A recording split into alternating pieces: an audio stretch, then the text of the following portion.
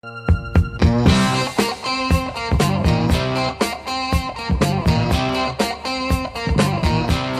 I'm Patrick Sweeney, the founder of Odin Technologies. I'm here to tell you about a project IATA's undertook to change the way baggage is handled by airlines and airports worldwide. IATA has embarked on a radio frequency identification, or RFID, initiative. They've embarked on this for three specific reasons. Number one, to reduce costs to airlines and airports. Number two, to increase the passenger experience, eliminating lost baggage, expediting bags to come through and, and lowering the wait times. And number three, to help the environment. In fact, one of the things that I didn't know until we embarked on this project with IATA is that if you took every baggage tag that was printed out on a yearly basis and you laid those tags end to end, they'd go around the equator three times. That's an awful lot of paper that goes to waste every year. IATA is trying to catalyze the industry, replace those paper tags with RFID tags. And in fact, eventually, people will use permanent RFID tags. The way IATA is going through this process is to use a global standard, an ISO 18000-6 standard tag, one tag that works in every country and every frequency worldwide. The big question, however, became what was the best tag? That's why they hired Odin Technologies. Odin's the leader in radio frequency identification. In fact, with 250 paid projects across five continents, no one comes close to the global experience that Odin has. Hello everyone, welcome to the Odin Labs. I'm Chetan Karani, technical lead on the IATA baggage tag benchmark. There are some very few important factors that I'd like to point out that enable us to do this baggage tag benchmark right here in the lab. First, and the most important, is a special license that FCC has granted us. This license enables us to do European, FCC, and Japanese frequency testing right here in the lab. The second most important point, some of the dozen or more benchmarks that we publish publicly, and also several private benchmarks that we've conducted for tag manufacturers and reader manufacturers. Now let me introduce some of the baggage tags and inlays we investigated in this benchmark. UPM Raflatac short dipole, IER FF95,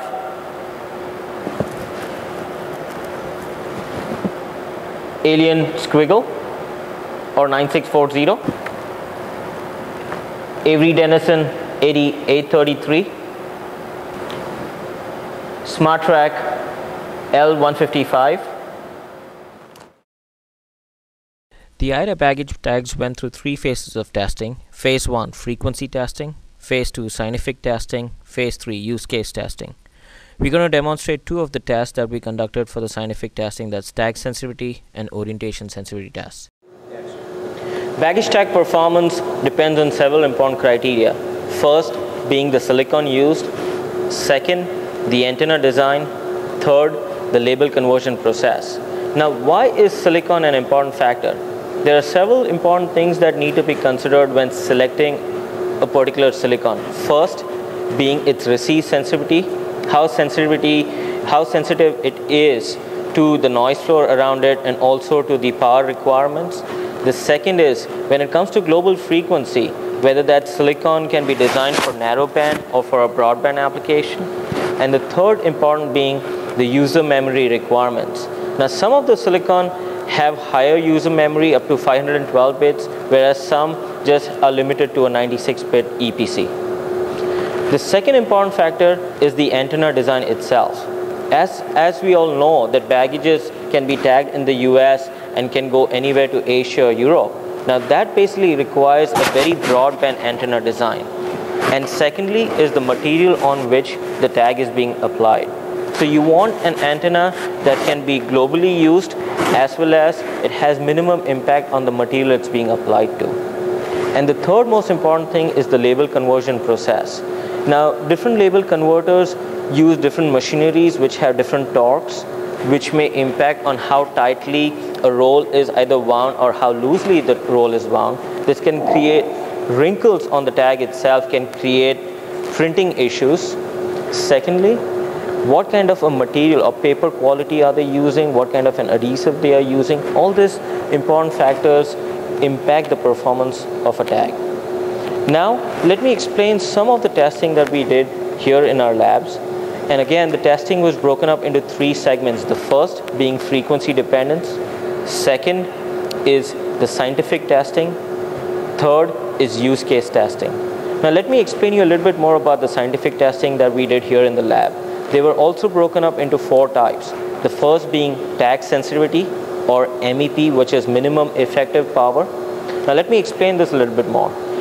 In different environments or in different geographies, reader are transmitting at different power levels. For example, in the US, you're transmitting at 4 watts EIRP, whereas in Europe, in Japan, you're transmitting at a much lower power. Now, what that means is that the power that the tag receives varies as the geography changes. And what we're trying to find out here is what is the minimum power required for the reader to effectively wake up the tag and talk to the tag. So that is tag sensitivity. The second is power effectiveness. Now this tells us the tag performance when the power is va varied from 1 milliwatt to 1000 milliwatts. The third is orientation sensitivity testing. Now different airports have different business processes, have different ways of handling a bag, and also there are a lot of contract workers that change on a daily basis. So you want to minimize user training. Hence, you want to select a tag that is orientation insensitive. That is, that in any orientation, a bag or a tag should be read successfully. And the fourth scientific test is distance testing. This basically was just to test how a bag can be read in a tunnel kind of an environment or in a portal kind of an environment. And we also tested the extreme threshold and we tested bags at one feet, three feet, five feet, seven feet, and 17 feet distance from the reader's antenna. Now let's check the orientation sensory test setup. We have an OS table that can change from 0 to 360 degrees in any orientation and angle that we need. What we have here is a test artifact with the material at the background and also a baggage tag. As we can see, the orientation table changes orientation as we conduct testing. And we can conduct testing and also log results for a reader power varying from 1 milliwatt to 1000 milliwatt. So that basically helps us identify how a tag will perform under different power conditions and in different orientations. The third phase of this project, which is the use case testing phase of the project, was conducted in a real world baggage handling system right outside Washington, D.C., with conveyor speeds of 240 feet per minute. Let me stress this again 240 feet per minute with interferer readers on. Four type of bag materials were tested a soft bag, as you can see here, a pelican case, which is a hard plastic case, a metal case, and also a duffel bag. Four different tag orientations were tested at these speeds.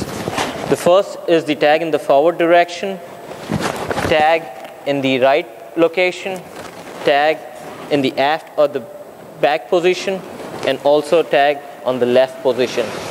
And as you can see here is, is a baggage tag which has real world barcode information as well as tag information.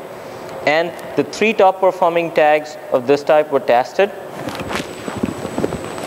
Also now you can see is, is a Pelican case, which is a hard case. Again, material dependency plays a very important role because different materials have different dielectric properties or in case of metals which reflect RF energy can also shadow an RF tag which can make it difficult for the RF tag to read. Hence, I think use case testing is one of the most important phase of this projects that help us understand which of the top three performers perform well. And now let me hand it over to Harold Goldzon, who led and managed this project, and he'll also give you some of the conclusions. I'm Harold Goldzon. So sorry I can't be with you this week in Beijing, but I'm off to Europe to a client site.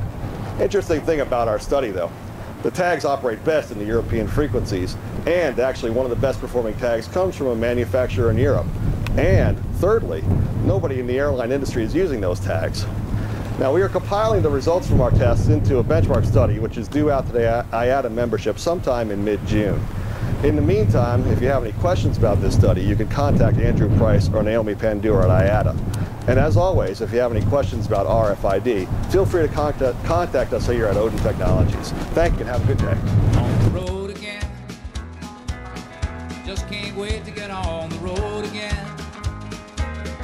Well, my love is making music with